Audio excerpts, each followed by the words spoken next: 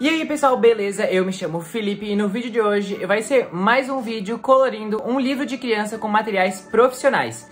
Então, eu fui lá e comprei esse livro aqui. É aquele livro que tem várias atividades e alguns desenhos para colorir. E aí, eu escolhi um do Homem-Aranha porque a gente sabe que o Homem-Aranha tá em alta, né, com o novo filme que lançou agora nos cinemas. Então eu resolvi pegar um desenho do Homem-Aranha para colorir no vídeo de hoje, usando apenas materiais profissionais. O material que eu usei foi o lápis de cor da Lira, que eu já tenho há bastante tempo, que já apareceu em alguns vídeos aqui no canal. Então eu fiz, eu pintei todo esse desenho com esse lápis de cor que é profissional da Lira, que é uma marca super boa, e que então eu pintei esse desenho do Homem-Aranha. Antes de vocês verem todo o processo desse desenho, não esqueçam de se inscrever aqui embaixo no canal, nesse botãozinho vermelho que tá escrito inscrever-se. Clica ali, vai aparecer um sininho, clica no sininho pra você ativar as notificações aqui do canal e receber ali uma notificaçãozinha sempre que sair vídeo novo aqui no canal, que são três vídeos por semana. E claro, não esquece de deixar o seu joinha, o seu like agora no começo do vídeo. Então vamos lá para o processo completo dessa pintura, desse desenho de um livro infantil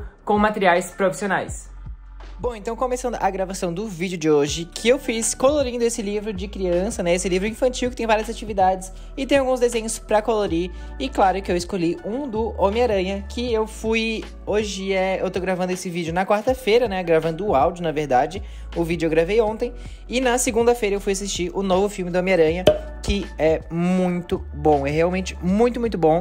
Mas você tem que assistir essa sequência dos filmes que é com Tom Holland, né? Então você assiste esse foi o terceiro que saiu e é uma sequência do segundo. Tipo, ele começa a partir de onde terminou o segundo filme. Então é legal você assistir os outros pra pegar essa sequência, né? Pra realmente entender toda a história. Mas é um filme fenomenal. Eu vi aí nas redes sociais que tava super bombando, tava todo mundo falando disso, tava todo mundo fazendo desenhos sobre isso. Tem até collab pra fazer de desenhos de Homem-Aranha. Então, tá um filme que tá super em alta e eu fui assistir, claro. E quando eu fui comprar os ingressos, tava tipo assim, tudo esgotado. Eu fui comprar, era um sábado, e eu queria ver no sábado mesmo, né?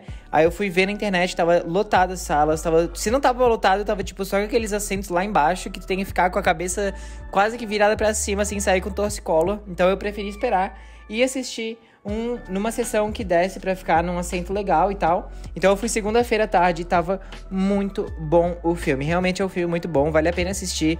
Tem muito efeito especial, tem uma lição bem legal do filme também. E se você gosta dos filmes da Marvel, é um prato cheio, porque esse dali tá cheio de coisa legal. Tem vários vilões, tem o Homem-Aranha, que eu não vou dar spoiler aí pra vocês não assistirem, mas tem bastante ação e bastante, bastante coisa legal que vocês vão gostar. Pro vídeo de hoje eu decidi pegar esse desenho do Homem-Aranha, que tava nesse, nesse livro de desenhos, né? E aí agora eu vou falar um pouquinho sobre isso que uh, eu, eu normalmente não tenho o costume de pintar um desenho total com lápis de cor, né? Afinal, o vídeo é colorindo um livro de criança com materiais profissionais. Então eu usei, como eu falei para vocês, esse lápis de cor da Lira, que é uma marca alemã, que é um lápis assim. Eu acho que eu botei muita expectativa em cima dele, mas ele é um lápis muito, muito bom. A pigmentação dele é muito, muito boa.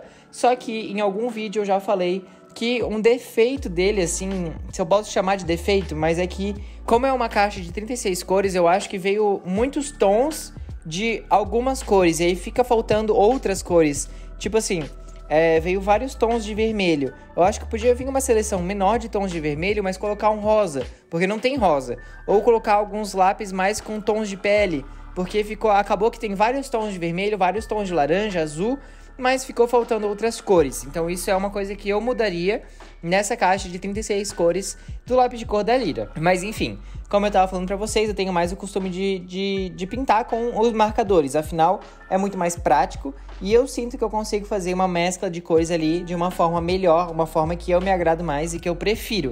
Mas pro vídeo de hoje, como essa é uma folha que ela é um pouquinho mais fina, né? Ela é bem fina. Vocês conseguem ver ali, ali, conseguem ver até o desenho que tá atrás desse do Homem-Aranha, então é uma folha bem, bem fininha e ela não ia resistir tanto a uma, uma tinta de marcador. Que, como eu já fiz em outros vídeos que eu, de, que eu pintei de um livro igual a esse, assim, só que é do Toy Story, eu pintei com marcador e, e a caneta estourou, vazou bastante a tinta e ficou bem estourado, assim, sabe?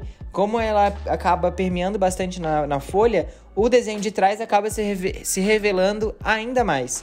Então não fica um resultado muito legal. E aí pro vídeo de hoje eu resolvi fazer então esse com apenas lápis de cor, que o Homem-Aranha também é, é uma pintura mais, mais simples assim em questão de cores, porque são só duas cores, é vermelho e azul. Então fica bem tranquila a pintura e aí eu resolvi me dar essa desafiada e tentar fazer apenas com lápis de cor. Uma coisa legal que é de fazer esses vídeos de você se gravar desenhando, né? Gravar desenhando, gravar pintando, enfim, gravar o seu processo é que depois você consegue rever e ver ali aonde que você consegue melhorar e aonde que você pode melhorar. Porque vendo essa pintura agora, eu já ia mudar algumas coisas, já ia mudar bastante coisa da forma que eu fiz aqui pro vídeo. Então, reassistindo você pintando, você desenhando, você consegue ver aonde você tá errando, entre aspas, assim, né? Porque não é um erro, é apenas uma coisa que você quer melhorar. Então você consegue ver isso de mais de perto, consegue ver, rever, assistir quantas vezes for para entender certinho o que, que você quer mudar e aonde você quer mudar. Então é legal, tenta em casa, vai desenhar, bota o seu celular, enfim, o que você tiver aí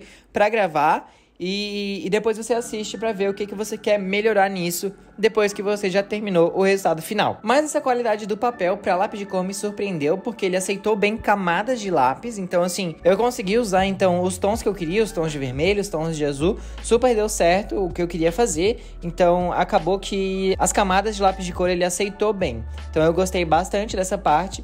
É um papel relativamente lisinho, assim, vocês conseguem ver até na pintura que tem uma texturinha ali. E eu tô me desenvolvendo ainda na pintura com lápis de cor, né? É uma coisa que eu acho bastante difícil, assim, aquelas... Quando eu vejo o pessoal no Instagram, assim, que posta, que faz aqueles desenhos cheios de luz e sombra e várias cores, eu acho realmente incrível, mas eu ainda não tenho essa habilidade, mas é algo que eu queria ter e que eu tô tentando desenvolver. Então, esse foi um dos pontos também que eu resolvi trazer o vídeo de hoje apenas com lápis de cor. E eu acabo que uso bastante também os lápis de cor da Faber-Castell, que são super, super bons e é, é, mais barato, assim, né? Mais acessível. Nesse livro também, desse, de, desses desenhos da... que acaba sendo da Marvel, né? Desse livro de atividades, enfim, desenhos. Eu achei que eles têm uns desenhos bem mais legais do que os desenhos da, do outro livro que eu tenho, do Toy Story, que eles têm uns desenhos mais simples, assim e tal. E esse da Marvel tem umas coisas muito mais legais. Eu não sei se é porque é de super-herói, assim, mas as poses, os estilos dos desenhos eu preferi, achei mais legal, que dá para desenvolver e fazer algo mais elaborado assim mesmo, sabe? São desenhos até maiores. Então eu gostei bastante desse livrinho aí. Apesar de ser de criança, a gente consegue se divertir também, é bem legal. E eu acho que vale a pena você aí em casa. Não é uma coisa tão cara assim, eu acho que eu paguei 16, 17 reais nesse livro, que vem tipo 100 páginas para colorir e aprender, é o que fala no livro ali, né? Então tem bastante desenho para você colorir, se você quer praticar, eu acho que é uma coisa legal. Você pode pegar na internet também, bota ali no Google desenhos para colorir, Marvel, enfim, do que você quiser. Bota ali, imprime aí em casa. E daí já pratica bastante aí a pintura para na hora que você for fazer os seus próprios desenhos, o lado da pintura já tá super bom e você consegue elaborar ainda mais o resultado final do seu desenho e trazer um resultado bem legal para ele. Enfim, esse era o vídeo de hoje. Eu gostei bastante desse desenho quando eu tava folheando ali para procurar um desenho desse.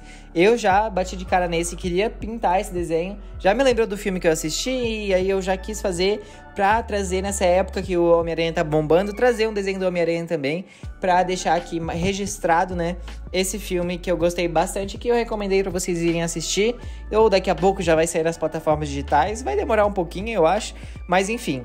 É um filme que tá muito bom e que vale a pena assistir e que vale a pena você também praticar pintura nesses desenhos próprios para colorir. Se você ainda não, não, não tá tão seguro assim em fazer os seus próprios desenhos, pega um desenho na internet, tenta colorir ele com o material que você prefere, com o material que você gosta, para você desenvolver cada vez mais esse, esse lado da pintura que eu acho bastante legal e que eu gosto bastante também. Então esse foi o vídeo de hoje, eu vou deixar alguns takes mais de perto do resultado final do desenho para vocês verem com todos os detalhes. E eu espero que vocês tenham gostado do vídeo de hoje.